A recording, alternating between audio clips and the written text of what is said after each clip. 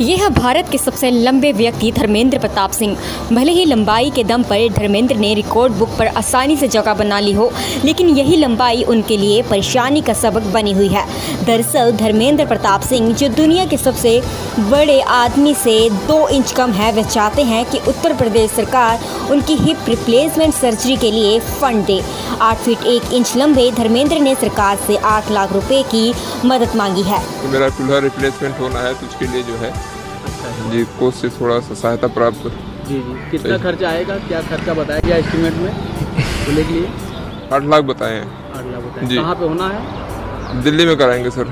कि शनिवार को धर्मेंद्र उत्तर प्रदेश के मुख्यमंत्री योगी आदित्यनाथ से मिलने उनके कार्यालय पहुँचे लेकिन वो वहाँ नहीं थे। लेकिन उन्होंने दावा किया है कि उन्हें मदद का भरोसा मिल सकता है। ताज़ा अपडेट्स के लिए नेशनल 18 न्यूज़ चैनल को सब्सक्राइब करें और बेल आइकन को प्रेस करें।